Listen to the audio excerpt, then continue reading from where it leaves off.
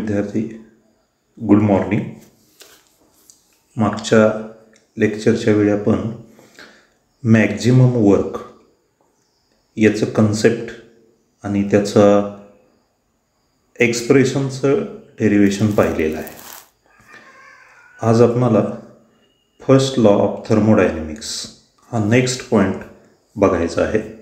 आणि एक्झामवरती याच्यावरती सुद्धा दोन किंवा एक मार्काचे प्रश्न विचारले जाऊ शकतात.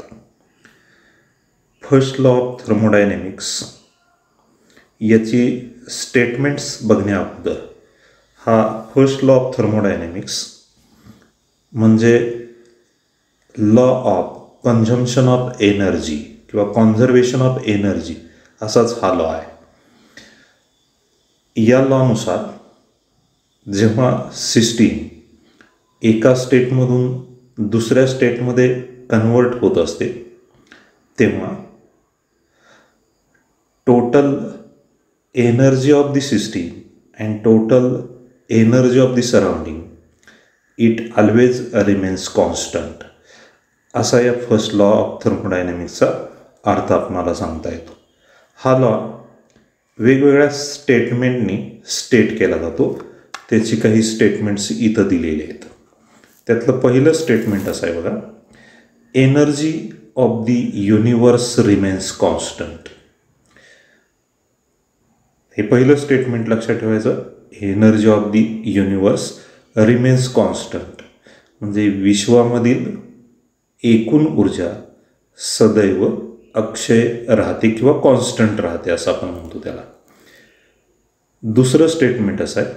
The total energy of an isolated system remains constant isolated सिस्टीमचा अर्थ सुरुवातीला आपण पाहिलेला होता. तो आठवत असेल. The an the system which can neither exchanges energy nor matter with the surrounding त्याला आपण आयसोलेटेड सिस्टीम असं म्हणतो. या आयसोलेटेड सिस्टीमची टोटल इंटरनल एनर्जी ही नेहमी कॉन्स्टंट राहते. हे दुसरं स्टेटमेंट आहे. तिसरं तुम्हाला परिचित असलेलं स्टेटमेंट आहे. Energy is neither created nor destroy and can only be converted from one form to another energy निर्माणही करता येत नाही आणि एनर्जीचा नाशही करता येत नाही. परंतु एका फॉर्ममधली एनर्जी दुसऱ्या फॉर्ममध्ये आपण कन्वर्ट करू शकतो. इथं ही तीन स्टेटमेंट दिलेले आहेत. अजून एक स्टेटमेंट मला असं सांगता येईल first लॉनुसार it is impossible for any machine to do the work without consumption of energy असं कुठलंही मशीन अस्तित्वात नाही की जे एनर्जीचा उपयोग न करता वर्क प्रोड्यूस करेल. एनर्जीचा उपयोग केल्याशिवाय कुठल्याही मशीनला वर्क प्रोड्यूस करता येत नाही. ही चार स्टेटमेंट तुम्हाला लक्षात ठेवायचे आहेत. काही वेळेला give any two statements of first law of thermodynamics असा दोन मार्कासाठी प्रश्न विचारला जाऊ शकतो. पहिला फर्स्ट लॉ ऑफ थर्मोडायनॅमिक्सचा अर्थ तुम्हाला लक्षात ठेवावा लागेल. When system changes from one state to another the total energy of the system and surrounding remains constant हा याचा अर्थ आहे. हे स्टेटमेंट म्हणून सुद्धा चालू शकेल. आणखी मी स्टेटमेंट खाली सांगितली.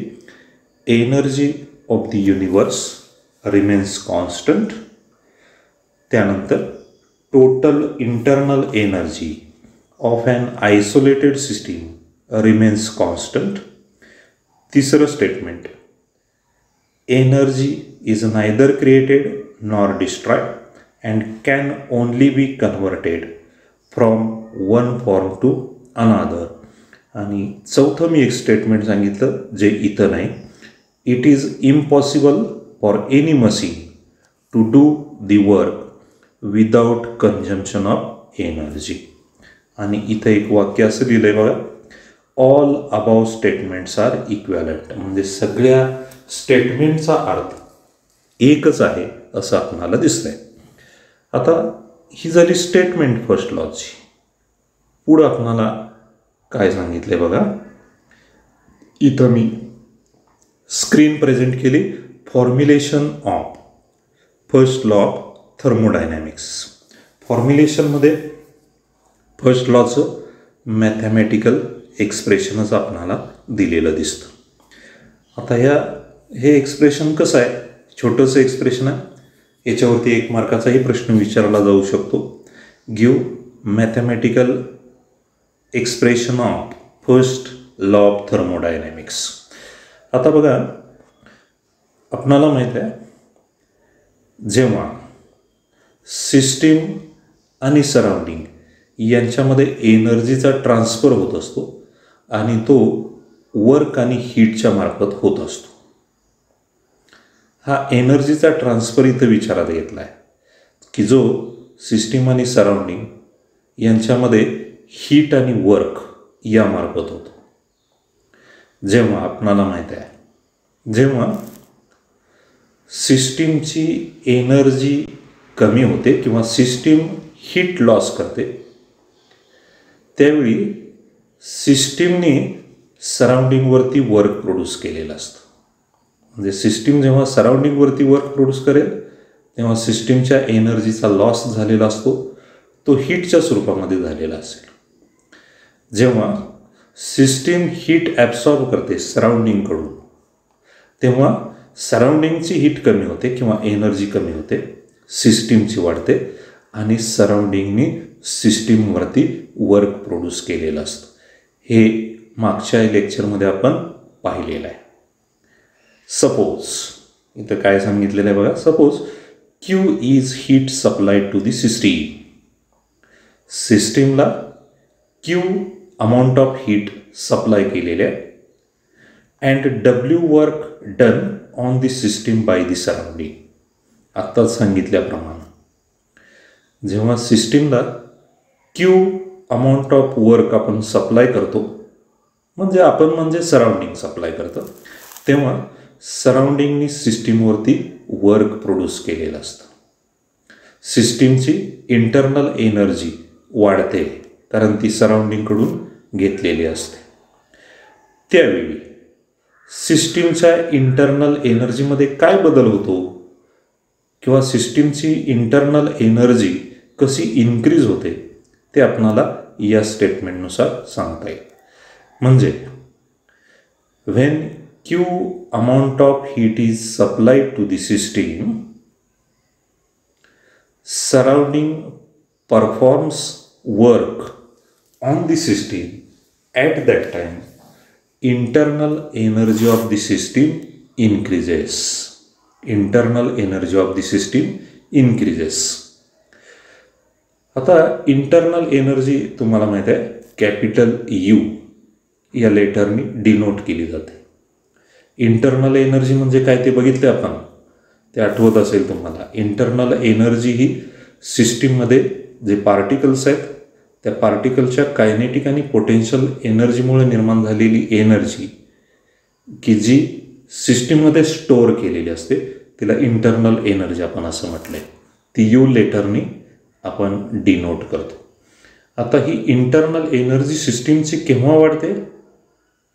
ते मॅथमॅटिकल एक्सप्रेशनमध्ये सांगितलं आहे when it absorbs Q amount of heat from the surrounding and when surrounding performs W amount of work on the system then internal energy of the system increases इथं तुम्हाला दिसेल बघा या स्टेटमेंटमध्ये Increase in internal energy of the system increase in the internal energy of the system म्हणजे delta U is equal to is equal to sum of quantity of heat supplied to the system and amount of work done on the system.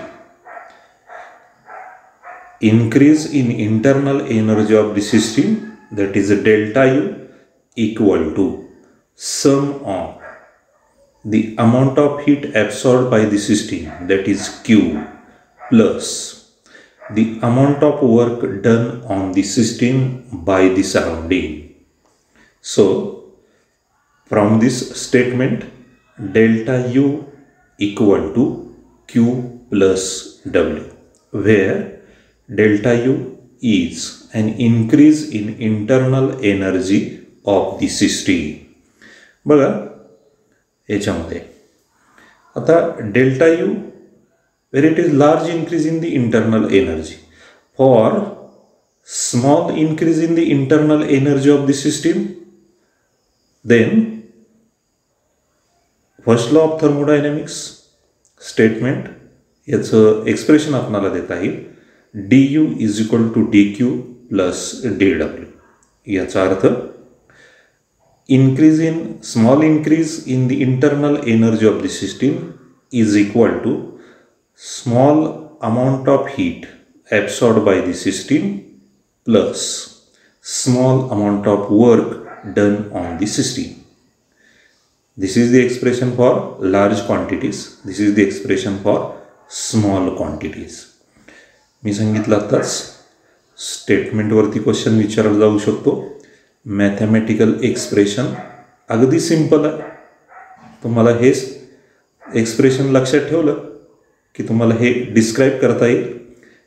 When Q amount of heat is supplied to the system then W amount of work is done on the system then internal energy of the system increases by delta U so delta U is equal to Q plus W it is the mathematical expression of first law of thermodynamics. Then next point स्क्रीनवरती मी घेतोय. First law of thermodynamics for various processes याचा याच्यावरती सुद्धा एक्झाममध्ये एक एक मार्काचे प्रश्न विचारले जाऊ शकतात. आपणाला वेगवेगळ्या प्रोसेसेस माहीत आहेत. Isothermal process adiabatic process आयसोपोरिक process isobaric process reversible irreversible processes आता अशा काही प्रोसेसेसमध्ये फर्स्ट लॉ ऑफ थर्मोडायनॅमिक्स याचं मॅथमॅटिकल एक्सप्रेशन याचा फॉर्म काय असेल? वेगवेगळ्या प्रोसेसेसमध्ये ते आपणाला एका एका प्रोसेसमध्ये दिसतंय. पहिली प्रोसेस आहे आयसोथर्मल प्रोसेस पहिल्यांदा अर्थ माहीत पाहिजे आपणाला. आयसोथर्मल प्रोसेस कशाला म्हणायचं? आता आयसोथर्मल प्रोसेस जी कॉन्स्टंट टेम्परेचर असताना घडते तिला आपण आयसोथर्मल प्रोसेस असं म्हणतो. Temperature of the system remains constant. Isothermal प्रोसेसमध्ये आणखी आपण असं बघितलं होतं की आयसोथर्मल प्रोसेसमध्ये टेम्परेचर कॉन्स्टंट असतो आणि ह्या टेम्परेचरवरतीच सिस्टीमची इंटरनल एनर्जी डिपेंड असते. जर टेम्परेचर कॉन्स्टंट असेल तर सिस्टीमची इंटरनल एनर्जी पण कॉन्स्टंट असते. म्हणून आयसोथर्मल प्रोसेसमध्ये delta T equal to constant or equal to zero as internal energy depends upon temperature delta U that is change in internal energy delta U also equal to zero or it is constant आता first लॉचं mathematical expression आपण विचारात घेतलं.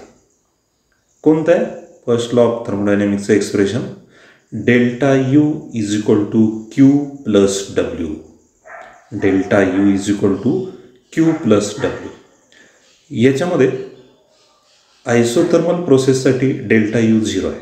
ती किंमत त्या एक्सप्रेशनमध्ये घातली. Delta U is equal to Q plus zero तर एक्सप्रेशन काय मिळेल? Zero is equal to Q plus W zero is equal to Q plus W असं एक्सप्रेशन मिळेल. Where delta U is equal to zero हेच expression zero is equal to Q plus W आपण कसं लिहू शकतो? हा क्यू इकडं घेतला तर काय होईल? W is equal to minus Q हा क्यू बरोबर चिन्हाच्या या बाजूला घेतला. तर तो मायनस होईल. W is equal to minus Q किंवा असंही होऊ शकतं. आपण क्यू इथंच ठेवला आणि डब्ल्यू इकडे घेतला. Q is equal to minus W म्हणजे दोन एक्सप्रेशन कशी मिळतील? W equal to minus Q किंवा Q equal to minus W याचा अर्थ काय होता आता इथं तो अर्थ दिला आहे. समजा W equal to minus Q असेल. तर डब्ल्यू पॉझिटिव्ह केव्हा असतो ते आपल्याला माहीत असलं पाहिजे. डब्ल्यू पॉझिटिव्ह केव्हा असेल? कोणी कुणावरती वर्क प्रोड्यूस केलेलं असेल? तर सराउंडिंगनी सिस्टीमवरती वर्क प्रोड्यूस केलेलं असेल. त्यावेळी काय होईल? सराउंडिंगला एवढी हीट लॉस करावी लागेल. लॉस केलेली हीट मायनसने दाखवतो. जेव्हा सराउंडिंग एवढी हीट मायनस क्यू एवढी हीट लॉस करेल तेव्हा ते सिस्टीमवरती W amount of work produce करेल. हा या एक्सप्रेशनचा अर्थ होईल. जर असं असेल Q equal to minus W Q equal to minus W त्याचा अर्थ काय होईल? मायनस डब्ल्यू केव्हा वर्क होईल? जेव्हा सिस्टीम सराउंडिंगवरती वर्क प्रोड्यूस करेल. ते वर्क कसं निगेटिव्ह असतं. Q is equal to minus W म्हणजे काय? When Q amount of heat is absorbed by the system then it performs minus W amount of work on the surrounding या एक्सप्रेशनवरून आपणाला या दोन्ही W is equal to minus Q किंवा Q is equal to minus W यांचे meaning इथं explain करावे लागतील. कोण केव्हा वर्क करेल तेव्हा. म्हणून मॅथमॅटिकल एक्सप्रेशन फर्स्ट लॉचं isothermal प्रोसेसवरती zero is equal to Q plus W असावं असं होतं. त्याचा असा अर्थ W equal to minus Q किंवा Q is equal to minus W आणि त्याचे अर्थ तुम्हाला एक्सप्लेन करावे लागतील. त्यानंतर दुसरी प्रोसेस आहे. Adiabatic process. आता ही ॲडियाबॅटिक प्रोसेस याचा अर्थ तुम्हाला माहीत आहे. प्रोसेसचे अर्थ तुम्हाला माहीत पाहिजेत. काय ॲडियाबॅटिक प्रोसेस? ॲडियाबॅटिक प्रोसेस ही टेम्परेचर कॉन्स्टंट असताना घडत नाही. टेम्परेचर याच्यामध्ये चेंज होतं. टेम्परेचर का चेंज होतं? तर सिस्टीम आणि सराउंडिंगमध्ये हीटचा एक्सचेंज होत नसल्यामुळं. टेम्परेचर कॉन्स्टंट राहत नाही ते इन्क्रीज होतं किंवा डिक्रीज होतं. म्हणून याच्यामध्ये म्हणता येईल आपण delta T not equal to zero म्हणून delta U not equal to zero but Q is equal to zero heat surrounding आणि सिस्टीममध्ये एक्सचेंज होत नाही. म्हणून Q is equal to zero असतो. त्या प्रोसेसला आपण ॲडियाबॅटिक प्रोसेस असं म्हणतो. परत आठवा एकदा. Mathematical expression first लॉचं delta U equal to Q plus W delta U equal to Q plus W जर क्यूची किंमत झिरो त्या एक्सप्रेशनमध्ये घातली तर काय एक्सप्रेशन मिळेल? एक तर असं एक्सप्रेशन मिळेल. Minus delta U is equal to minus W किंवा एक्सप्रेशन बघा delta U equal to Q plus W त्यात क्यू झिरो घेतला तर delta U is equal to W दोन फॉर्म मिळतील एक्सप्रेशनचे एक delta U equal to W किंवा minus delta U equal to minus W आता याचा अर्थ काय बघा? पहिल्या एक्सप्रेशनचा अर्थ बघूया आपण या. Minus delta U equal to minus W म्हणजे काय? मायनस डब्ल्यू हे कुणी कुणावरती वर्क प्रोड्यूस केलेलं असेल? सिस्टीमनी सराउंडिंगवरती वर्क प्रोड्यूस केलेलं असेल. तेव्हा डब्ल्यू निगेटिव्ह असेल. डेल्टा यू निगेटिव्ह का? हे वर्क प्रोड्यूस करताना सिस्टीमची इंटरनल एनर्जी डिक्रीज झालेली असेल. म्हणून मायनस डेल्टा यू म्हणजे when system performs work on the surrounding by the loss of internal energy then minus delta equal to minus w. दुसऱ्या फॉर्मचा अर्थ असा होईल delta U is equal to W W plus W हे work केव्हा होईल? जेव्हा सराउंडिंग सिस्टीमवरती वर्क प्रोड्यूस करेल. सराउंडिंग सिस्टीमवरती वर्क प्रोड्यूस करेल. त्यावेळी सिस्टीमची इंटरनल एनर्जी इन्क्रीज झालेली असेल. डेल्टा यू केव्हा होईल? When surrounding performs work on the system so delta U is equal to W हे स्टेटमेंटचे अर्थ तुम्हाला करावे लागतील याच्यावरून. म्हणजे वर्क पॉझिटिव्ह केव्हा असतं? निगेटिव्ह केव्हा असतं? डेल्टा यू पॉझिटिव्ह केव्हा? सिस्टीमची आणि डेल्टा यू निगेटिव्ह केव्हा? हे आपल्याला माहीत असेल. तर हे अर्थ तुम्हाला सांगता येतील. म्हणून आयसोथर्मल प्रोसेस आणि ॲडियाबॅटिक प्रोसेसमध्ये हे अर्थ काय असतील ते तुम्हाला लक्षात ठेवावं लागेल. मी नेक्स्ट स्क्रीन प्रेझेंट करतो पुढच्या पॉईंटमध्ये तिसरी प्रोसेस आहे इथं. Isochoric process. आता आयसोकोरिक प्रोसेसचा अर्थ तुम्हाला माहीत आहे. मी सांगितलेला होता the process which occurs at constant volume of the system सिस्टीमचं volume constant असेल. त्यावेळी घडणारी प्रोसेस म्हणजे आहे आयसोकोरिक प्रोसेस म्हणून आयसोकोरिक प्रोसेसमध्ये आपल्याला सांगता येईल delta V equal to constant that is equal to zero आता मॅथमॅटिकल फर्स्ट लॉ एक्सप्रेशन बघण्या अगोदर. आपणाला हे एक आठवते का बघा एक्सप्रेशन कोणतं P V type of works ते काय होतं? W equal to minus P external into delta V W equal to minus P external into delta V isochoric प्रोसेसमध्ये डेल्टा व्ही झिरो आहे कॉन्स्टंट आहे. म्हणून हे एक्सप्रेशन काय होईल? W is equal to minus P external into delta V zero होईल. Minus P external into zero zero W is equal to zero आता first law expression आठवा mathematical expression first law of thermodynamics delta U equal to Q plus W delta U is equal to Q plus W पण W काय आहे?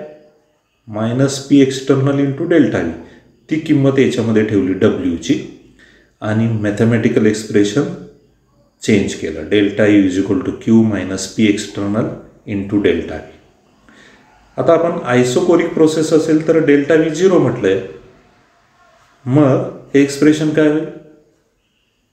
Delta U equal to P external into delta V zero delta U is equal to Q V V काय लिहिलं process occurs at constant volume याचा अर्थ काय सांगता येईल? Internal energy of the system increases when Q amount of heat is absorbed by the system at constant volume आता ह्या constant व्हॉल्यूमला घडणाऱ्या ज्या प्रोसेसेस किंवा रिॲक्शन्स आहेत त्या क्लोज्ड कंटेनरमध्ये घडवल्या जातात. क्लोज्ड कंटेनर जिथं व्हॉल्यूम कॉन्स्टंट असतं. सिस्टीमचं व्हॉल्यूम कॉन्स्टंट असेल अशा क्लोज्ड कंटेनरमध्ये घडवल्या जातात.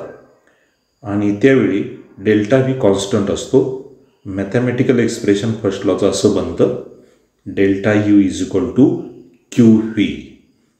Heat absorbed at constant volume is use to increase the internal energy of the system. हा याचा अर्थ आपणाला सांगता येईल. म्हणजे आयसोकोरिक प्रोसेसमध्ये मॅथमॅटिकल एक्सप्रेशन काय होईल? Delta U is equal to Q V then next isobaric process आता याचा अर्थ आपल्याला पहिल्यांदा पाहिजे माहीत? म्हणजे आपल्याला मॅथमॅटिकल एक्सप्रेशन याचं तयार करता येतं. ज्या प्रोसेसेस सिस्टीमचं प्रेशर कॉन्स्टंट असेल तेव्हा घडतात त्या प्रोसेसेसना आयसोबॅरिक प्रोसेसेस असं म्हणायचं. आता ह्या आयसोबॅरिक प्रोसेसेस आपण प्रोसेसचा अर्थ बघताना बघितलं होतं की अशा प्रोसेसेस या बऱ्याचशा लॅबमध्ये आपण घडवून आणतो आणि त्यावेळी ॲटमॉस्फेरिक प्रेशर हे कॉन्स्टंट असतं. आणि अशा कॉन्स्टंट ॲटमॉस्फेरिक प्रेशरला घडणाऱ्या सगळ्या प्रोसेसेस ह्या आयसोबॅरिक प्रोसेसेस असतात. आता ह्या प्रोसेसेसमध्ये प्रेशर कॉन्स्टंट असलं तरी delta V is not equal to zero कारण त्या ओपन कंटेनरमध्ये आपण घडवून आणतो आहे म्हणून व्हॉल्यूम कॉन्स्टंट नसतं. इथं एक सेंटेन्स लिहिलं. Replacing Q by Q P and and इथं delta U by Q P minus P external delta V याच्याऐवजी इथं असं पाहिजे W by Q P minus P external delta V असं इथं पाहिजे. एक्सप्रेशन बघूया आपण. एक्सप्रेशन असं होतं डेल्टा यू इथं रिअरेंज करून लिहिलं आहे delta U is equal to Q plus W हे मूळचं एक्सप्रेशन आठवा. Delta U is equal to Q plus W ते रिअरेंज केलं. क्यू इकडं घेतलं. Delta U plus P delta V. तर तुम्हाला माहिती आहे डब्ल्यूची किंमत minus P external delta V. या एक्सप्रेशनमध्ये ठेवली मॅथमॅटिकल एक्सप्रेशनमध्ये आणि रिअरेंज करून आपणाला हे एक्सप्रेशन असं झालेलं दिसतंय. Q P is equal to delta U plus P external delta V. जर तुम्ही डेल्टा यू इकडे घेतला असता या बाजूला तर काय झालं असतं एक्सप्रेशन पी एक्सटर्नल इकडे गेला तर Q P minus P external delta V हा पी एक्सटर्नल डेल्टा व्ही इकडच्या बाजूला घेतो. Q P minus P external delta V is equal to delta U म्हणजेच delta is equal to Q plus W असं ते एक्सप्रेशन होतं. आता delta V इथं कॉन्स्टंट नाही. डेल्टा व्ही कॉन्स्टंट नाही. इथं लिहिलं आहे आपण delta V not equal to zero पण एक्स्टर्नल प्रेशरला कॉन्स्टंट ॲटमॉस्फेरिक प्रेशरला ह्या प्रोसेसेस घडतात. म्हणून फर्स्ट लॉ एक्सप्रेशन आपल्याला असंच लिहिता येतं Q P is equal to delta U plus P external delta V हे लक्षात ठेवायचं. आयसोबॅरिक प्रोसेसमध्ये पी एक्सटर्नल झिरो घ्यायचं नाही. पी एक्सटर्नल झिरो घ्यायचं नाही. ते झिरो घेतलं तर परत Q P is equal to delta U असं एक्सप्रेशन होईल. कॉन्स्टंट ॲस ॲटमॉस्फेरिक प्रेशरला या क्रिया घडतात. त्याचं एक्सप्रेशन आपणाला हेच लिहायचं आहे. म्हणून या प्रोसेसमध्ये फर्स्ट लॉ एक्सप्रेशन लक्षात ठेवा. आता वेगवेगळ्या प्रोसेसेसमध्ये काय काय फर्स्ट लॉचं मॅथमॅटिकल एक्सप्रेशन तयार झालं ते तुम्हाला लक्षात ठेवावं लागेल. आयसोथर्मल प्रोसेस ॲडियाबॅटिक प्रोसेसमध्ये काय झालं? आयसोकोरिक प्रोसेसमध्ये काय? आणि आयसोबॅरिक प्रोसेसमध्ये काय एक्सप्रेशन झालं? ते तुम्हाला लक्षात ठेवता येईल. नेक्स्ट पॉईंट मी एक्सप्लेन करतो परत. हा एक पॉईंट आहे. नवीनच टर्म आहे ही एन्थाल्पी. ही तुम्ही अकरावीत कधी ऐकली नसेल आणि आत्ता बारावीच्याही कोणत्या टॉपिकमध्ये नवीनच आहे ही. जशा थर्मोडायनॅमिकला मधल्या बऱ्याचशा टर्म तुम्हाला नवीन आहेत. सिस्टीम सराउंडिंग प्रोसेसेस या. तशा एन्थाल्पी ही एक टर्म लक्षात ठेवा. लेटर डिनोट करण्यासाठी वापरलं एक कॅपिटल एच एन्थाल्पीचा अर्थ काय आहे बघा. Enthalpy of a system is the sum of internal energy of a system and energy equivalent to P V work. तुम्ही डेफिनेशन लक्षात ठेवायच्या ऐवजी एन्थाल्पीचं एक्सप्रेशन लक्षात ठेवा डेफिनेशन तुम्हाला तयार करता येईल. H is equal to U plus P V याच्यावरून डिफाईन काय करता येईल? Enthalpy of a system is the sum of internal energy of the system and P V type of work and type of type of work So H is equal to U plus PV. Internal energy state function आहे pressure volume state functions आहेत म्हणून सुद्धा काय आहे? State function आहे हे लक्षात ठेवायचं. जे सिस्टीमच्या स्टेटवरती डिपेंड असतं. आता चेंज इन एन्थाल्पी कसा देता येईल? चेंज इन एन्थाल्पी जसा इंटरनल एनर्जीमधला चेंज आपण डेल्टा यूने डिनोट केला तसा change in enthalpy delta H तो एक्सप्रेशननी कसा द्यायचा? Change in enthalpy that is delta H is equal to H two minus H one म्हणजे काय? Change in enthalpy equal to enthalpy of the system in final state minus enthalpy of the system in initial state. Delta H is equal to H2 minus H1. हा change लक्षात ठेवा next पेजवरती मी येतो इथं दिले आता याच delta H is equal to H two minus H one या एक्सप्रेशनमध्ये एच वन आणि एच टूच्या किमती कन्सिडर करायच्या आहेत. एन्थाल्पीचं एक्सप्रेशन आहे H is equal to U plus P V H is equal to U plus P V एन्थाल्पीच्या व्याख्येनुसार. इनिशियल आणि फायनल स्टेटमधल्या ह्या किमती या एक्सप्रेशनमध्ये ठेवल्या. H one enthalpy of the system in initial state. U1 internal energy of the system in initial state. Pressure p1 volume v1 be the initial state quantities. म्हणून initial स्टेटमध्ये एन्थाल्पी होते. H one is equal to U one plus P one V one H is equal to U plus P V या एक्सप्रेशननुसार तर final स्टेटमधली enthalpy होते. H two is equal to U two plus P two V two आता मग change कसा लिहायचा? Enthalpy change तर आपण लिहितो delta H delta H is equal to H two minus H one हा चेंज झाला. Delta H is equal to H two minus H one या एक्सप्रेशनमध्ये एच टूची किंमत आणि एच वनची किंमत मी लिहिली इथं. Delta H is equal to H टूची किंमत U two plus P two V two minus H वनची किंमत U one plus P one V one. आता हेच एक्सप्रेशन असं बनेल. यू टू मी एकत्र घेतले. U two minus U one एका ब्रॅकेटमध्ये घेतलं. U two minus U one. Plus sign असंच. P two V two minus P one V one. असं एक्सप्रेशन तयार होईल. U two minus U one same term एकत्र घेतल्या. Plus P two V two minus P one V one U two minus U one internal energy of the final state minus internal energy of the initial state याला आपण change in internal energy delta U असं म्हणतो. म्हणून याच्यासाठी लिहिलं delta U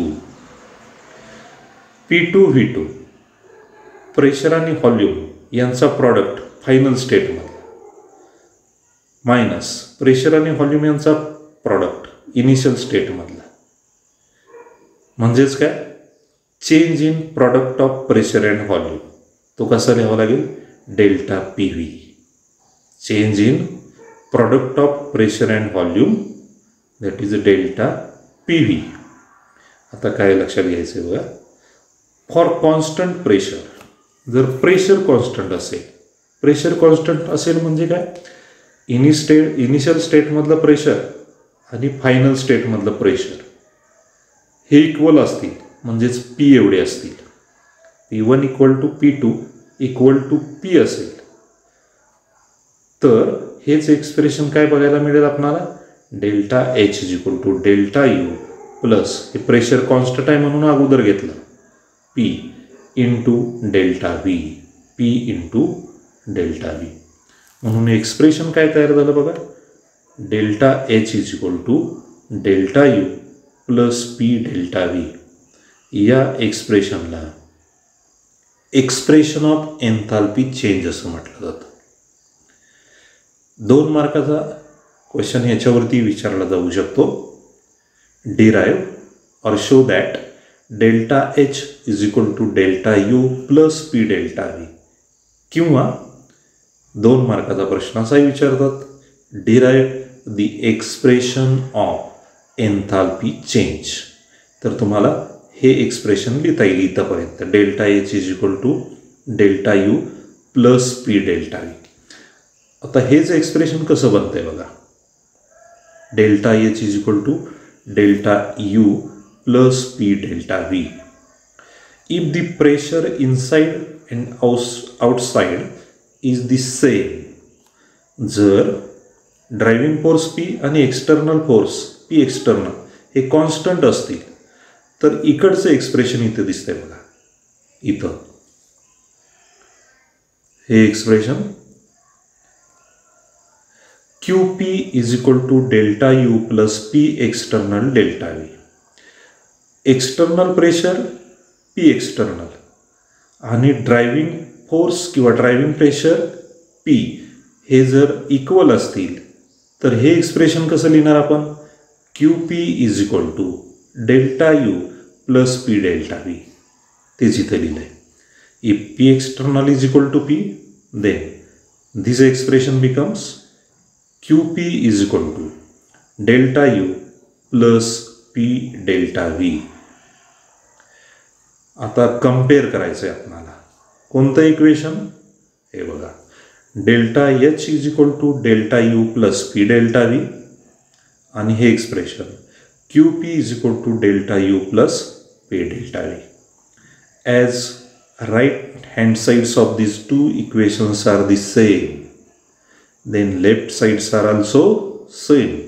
So delta h is equal to qp.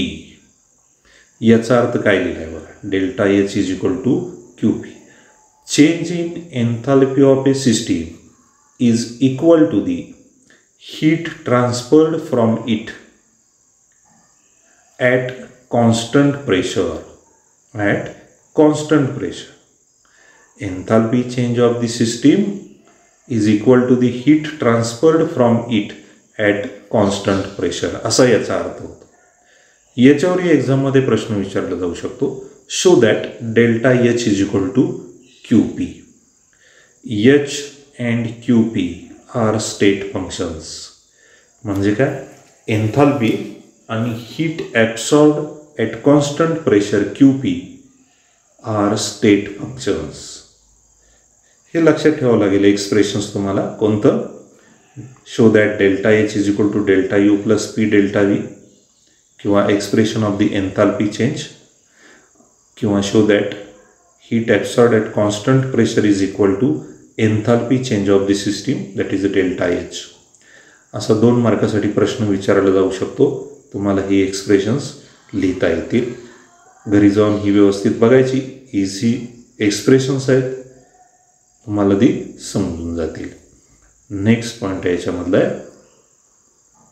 Relation between delta H and delta U आता हे expression मागच्या एक्सप्रेशनवरूनच लिहिलेलं आहे. डेल्टा एच आणि डेल्टा यूमधलं एक्सप्रेशन आहे. आता हे एक्सप्रेशन कसं आहे? Relation between delta H and delta U for chemical reactions आत्ताच आपण कॉन्स्टंट प्रेशरला एक्सप्रेशन बघितलं. Delta H is equal to delta U plus P delta V बघा आता हे एक्सप्रेशन लक्षात ठेवा. याच्यावरनं पहिला पॉईंट एक्सप्लेन असा केला. जर या रिॲक्शन्स सॉलिड्समध्ये आणि लिक्विड्समध्ये होत असतील तर ह्या सॉलिड्स आणि लिक्विड्सच्या व्हॉल्यूमवरती प्रेशरचा काही आपणाला इफेक्ट झालेला दिसत नाही. म्हणजे प्रेशर इन्क्रीज केलं डिक्रीज केलं तरी चेंज इन व्हॉल्यूम याच्यामध्ये कॉन्स्टंट असतो delta V is equal to zero असतो.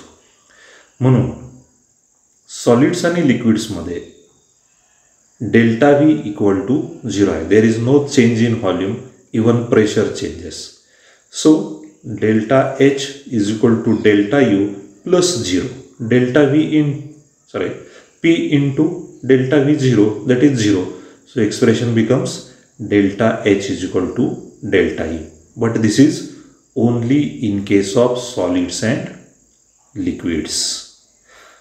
म्हणून एन्थाल्पी चेनचं एक्सप्रेशन अशा प्रोसेसेसमध्ये किंवा केमिकल रिॲक्शनमध्ये की ज्यांच्यामध्ये सॉलिड्स आणि लिक्विड्स इन्व्हॉल्ड झालेले आहेत त्यांच्यामध्ये हे बघायला मिळतं delta H is equal to delta U पण जर अशा रिॲक्शन गॅसेसमध्ये होत असतील तर डेल्टा हा आपणाला कॉन्स्टंट राहिलेला दिसत नाही. कारण प्रेशरचा इफेक्ट गॅसेसच्या व्हॉल्यूमवरती मेजरेबल झालेला दिसतो.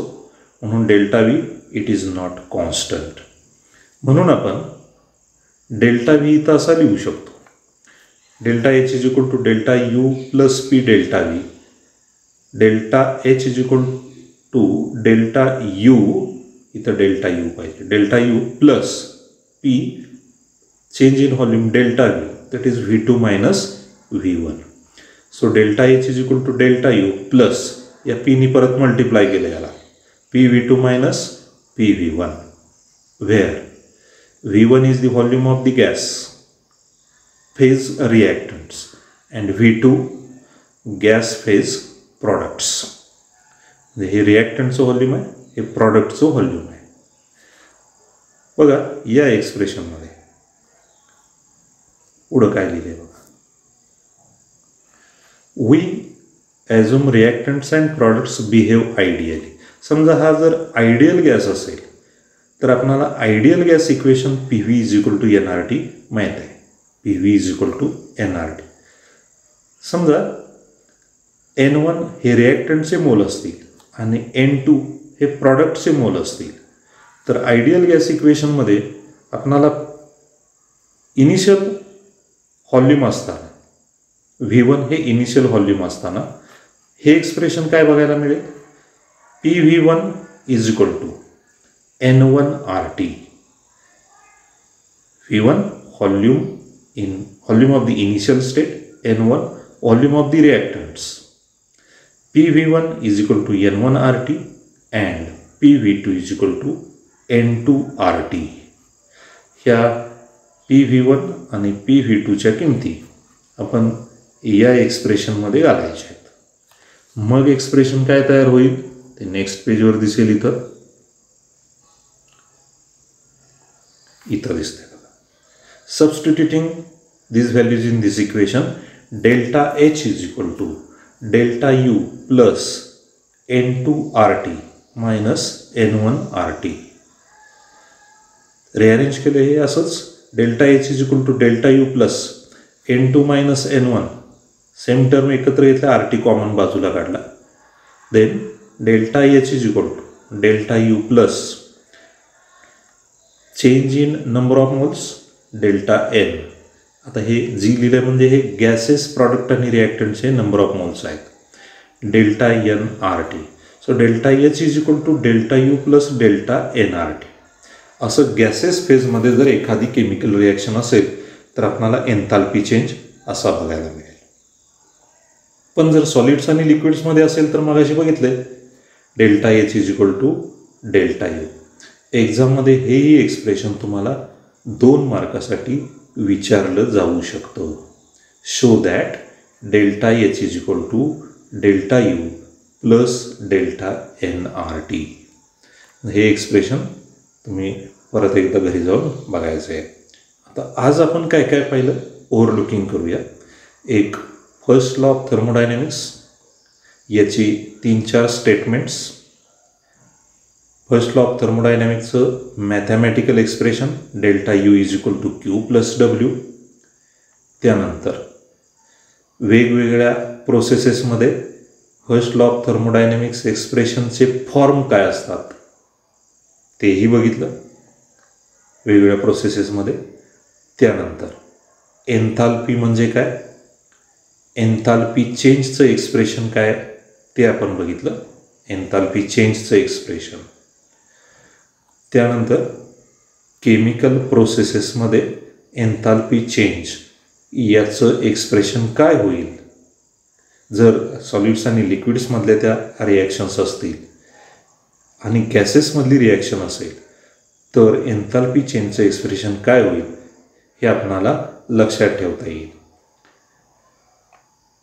ठीक आहे इथं आपण थांबूया. घरी जाऊन तुम्ही आणखी ही एक्सप्रेशन बघायचे आहेत. मी इथं थांबतो. थँक्यू